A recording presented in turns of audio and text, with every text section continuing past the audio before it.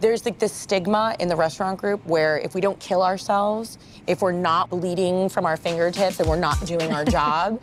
and it, Yeah. the truth of the matter is, it doesn't have to be that hard. You know, you you want to be able to uh, teach the next generation what it is that you're doing. It's something she's not great at. They're gonna f up sometimes. Let's just right.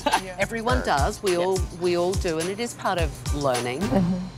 They mess up in a, a controlled environment. Yeah. You know, you're so still watching from mm-hmm. afar. Mm-hmm. And if there's an opportunity to learn or to, you know, critique or to adjust in that moment, the possibilities are endless.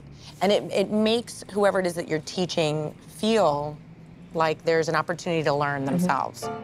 I think that I need to work with one person at a time, give them the skills they need, tell them everything I'm doing, and hold them to a level of expectation that they are going to do it and that I might have some hope there and success there.